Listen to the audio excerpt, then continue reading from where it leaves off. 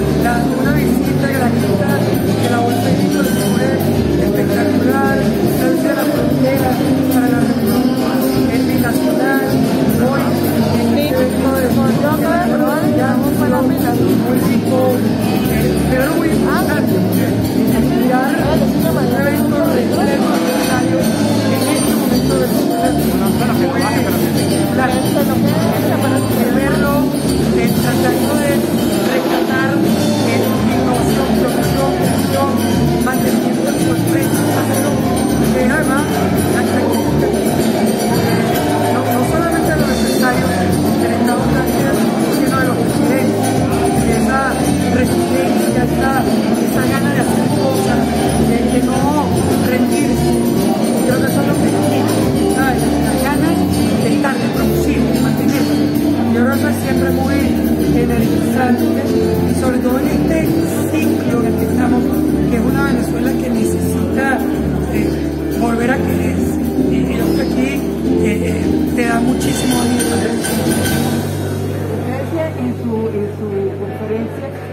la economía es un río revuelto.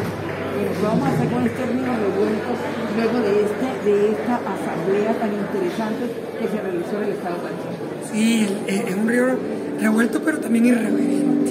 Eh, es un río que, que siempre trata de buscar su cauce, independientemente de todos los bloqueadores que se le ponen. Y, a ver, la historia de la economía en el mundo es muy clara. Los controles de precios, los controles de cambio, la, la hostilidad frente al sector privado, lo- los intentos de control estatal, todo eso no funciona. O sea, obviamente a corto plazo puede deteriorarte, destruir, reducir producción, generar problemas, pero en el mediano y largo plazo la economía siempre busca ese cauce indispensable para rebelarse contra la irracionalidad. Y, yo creo que lo que vamos a ver, y estamos viendo ya en, en Venezuela, es un poco de eso. Una economía que ya, bueno, hace tres años te metían preso por operar en dólares y hoy resulta que todos pagamos en pesos o en dólares como si nada. Hace tres años te metían preso empresarios por especulación y hoy los precios están liberados para poder garantizar que las empresas operen.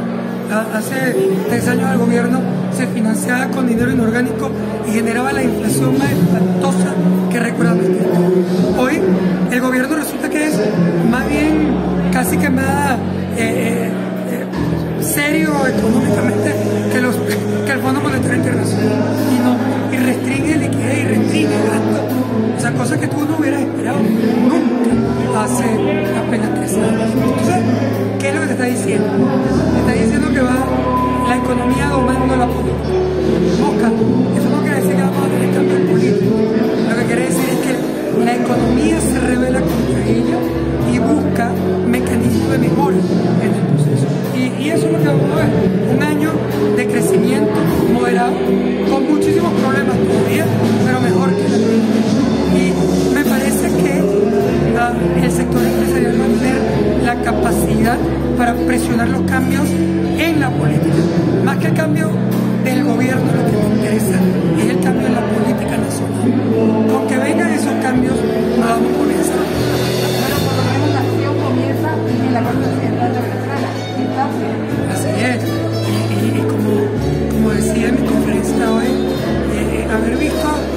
esa frontera me vuelve a, llenar de, de ganas de luchar por el cambio.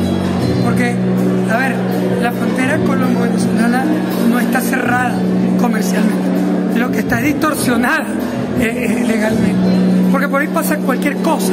Y ese paso no es más que un paso distorsionante, lleno de corrupción, de mafias, de un montón de cosas que, a ver, que Mosca no es que sea de aquí, es la historia típica de los controles en cualquier parte del mundo. Y yo creo que nosotros tenemos que luchar para abrir. Y hey,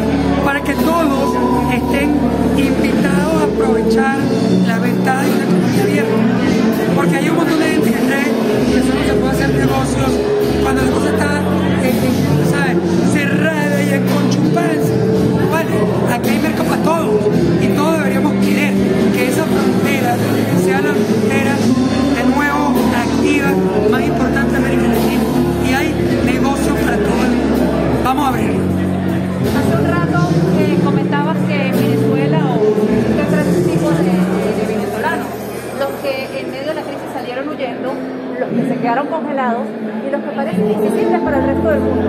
¿Cuál sería el mensaje para esos venezolanos que parecen invisibles para el resto del mundo, que son criticables, pero que están aquí todavía levantándose cada mañana a trabajar? Sí, me, me, me encantaría darle un consejo, pero es que resulta que yo se me adelantaron.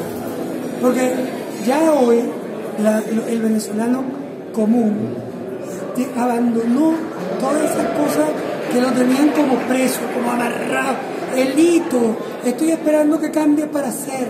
Mira, esto es como la vida misma.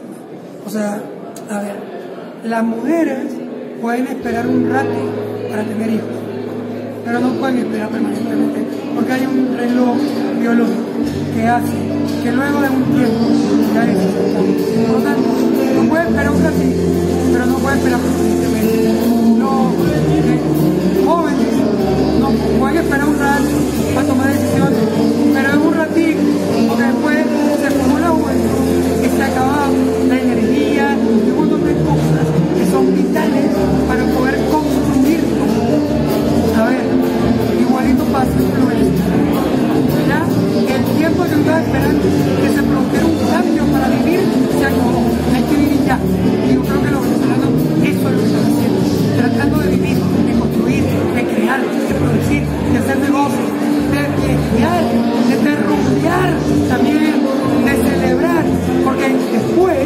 noite.